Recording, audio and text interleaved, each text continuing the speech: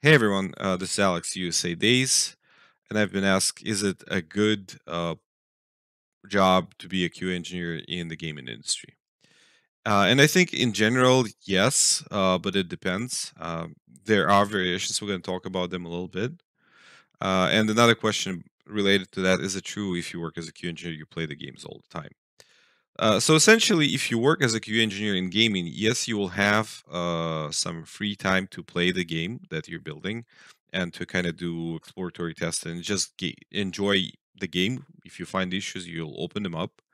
Uh, I open. I had some experience working in gaming, not in AAA, uh, but as a QA engineer in a startup, web-based. Um, it was web-based game.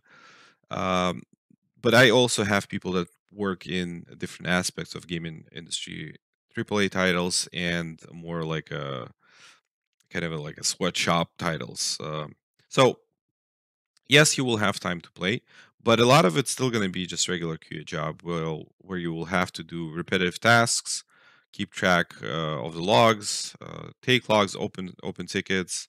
Uh, maybe there will be some additional QA work that is related to like payment processes uh, or working with different types of hardware. So it's not all all going to be just playing the game for the sake of having fun.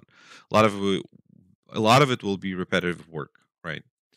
Uh, so it's still going to be a job, and it actually can get tiring and can wear you off. And at some point, if you do it a lot, you might even stop uh, enjoying playing games outside of your work. So you know you have to be aware of that. Now, in terms of having it as a job overall, I think it's a good start. Uh, doesn't matter where as a QA engineer to get into industry or overall to get in the QA, right, in the field. Now, if you want to grow, I would rather get out of uh, test testing in gaming into any other type of uh, QA, any other industry mix of hardware, software, uh, maybe some apps, uh, whatever that might be, right? Some payment systems, finances, banking, real estate, uh, whatever that might be, but out of uh, out of gaming. Or if you're staying gaming, go with AAA titles where you're not going to be a contractor, but you're going to be a full-time uh, QA engineer where you can actually grow, and if the product is going to stay in the market for for a long time. So think in terms of uh, QA engineer for League of Legends, you will be making around 80 uh, to 100k as a full-time QA engineer, uh, mid-level, uh, probably with some stock options. So almost like any regular other IT job.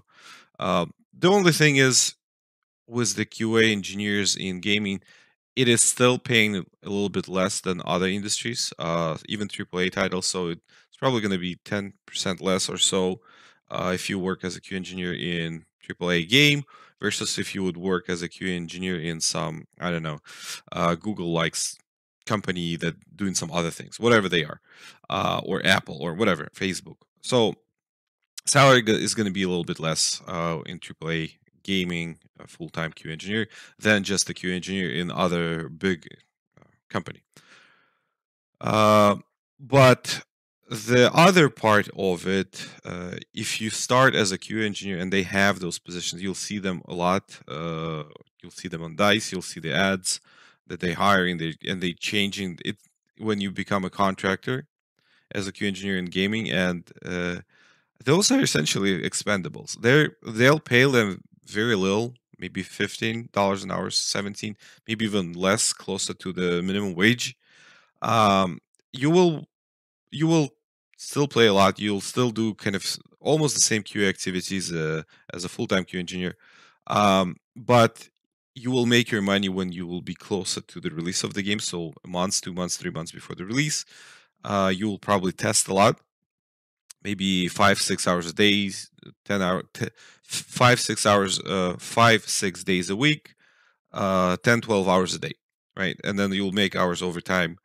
Uh, that will, you know, you'll make more money. But once the project is released, um, you're going to be let go. It's, it's quite often that people get fired because those positions are expendable. They're not considered. I don't know. They're not considered. If you're not a full time, they just get rid of you. Uh, titles out. They will have a skeleton crew uh, that will be running this project. No more testing needed, or only limited testing. Um, and then in that way, there's like really no respect for this position. It's it's just really expendable that it is what it is. uh, and it's hard to move from that to a permanent position. Permanent. So if you're getting, if you're looking for a QA position as a in gaming industry, I would from the start, from the get go, not go into a contractor position that you know pays very little money, uh, but they just kind of post it as okay, you're gonna still play games, and you know if you're out of college, it's gonna be like your first job, stuff like that. I wouldn't go that route. I would just go directly for the uh, company that would prefer to hire full time and prefer to give you industry uh, level salaries as other QA positions make. Otherwise, you might get stuck in that uh, kind of loop from contractor to contractor with a lot less money in gaming that uh, QA engineer should make if they're working full time. Now, also, I, I don't think that's a good trend um, to do that because I play a lot of games myself and I see titles uh, failing really bad because they try to crunch uh, testing in the last couple of months. Then the game gets out and it's still full of bugs because they never invested in proper QA and taking care of the employees, making them part of the project, and planning long uh, after the game release to keep them. Um, they get a bad product out. And there are multiple examples where titles are failing when uh, Fallout 76 came out full of bugs, and some of them are still not fixed, and the project is kind of in, in very strange state. Maybe it, it seems like it's getting abandoned, abandoned overall. Uh, they're trying to keep it alive with microtransactions and cosmetics, uh, but really the game itself is there's not a, not not a lot of activity, and whatever there is, it's not bringing back the the revenue and the players, right? Um, when the Overwatch 2 launched, still there were a lot a lot of issues on connecting, even after the demo testing. Uh, a lot of bugs that they banned some characters out. So I know because I went and read what they have on LinkedIn, and they congratulations how the game release was, uh, and you know they kind of live in that bubble that okay, we make some money, we made a successful release, but then you start going into uh, Reddit forums and reading the real responses from people how the game is laggy how it's impossible to connect to a server. You try playing yourself and you see uh, the experience gaming experience choppy it's not it's not it's not a successful release and end up uh, ends up also making a lot less money than it could. So essentially i think overall the culture of uh, you know let's hire some contractors to test. We're going to pay them very little and then maybe give them a lot of overtime close to release and then let them go once the product is out uh, is very bad approach in general because it does affect uh, the quality of the games in the long run. And um, a lot of the gaming companies that do that just end up losing money. So if you would think about going and joining a gaming uh, company to become a q engineer think about going full-time working there for you know for good amount of time couple years and where you're not only going to use your skills in playing, but maybe you're gonna learn some systems around it. So deployments, you're gonna learn uh, payment processing, testing that maybe how the game interacts with different systems. So you're gonna learn some maybe networking as well, pick up some database, a lot of stuff along the way that can be transferred uh, to other fields where the QA engineers are needed. So if you decide to move at some point, uh, you will have a full skill knowledge of a QA engineer, and and not like you know you were just doing kind of a gaming testing and trying to break the game and playing the game. That all you did as a contractor, for example. So if you think about uh, titles that pay well, or I mean relatively well compared to other gaming uh, companies, think about League of Legends. Uh, so you can get a full time position in there uh, you can get around 80 to 100k as a mid-level Q engineer. Uh, there you will be playing League of Legends. You will be testing. You will be uh, there. There will be playtime allocated, right? But also you will be actually testing and learning other things around uh, the game and payment processing and, and all other things that is not just just playing.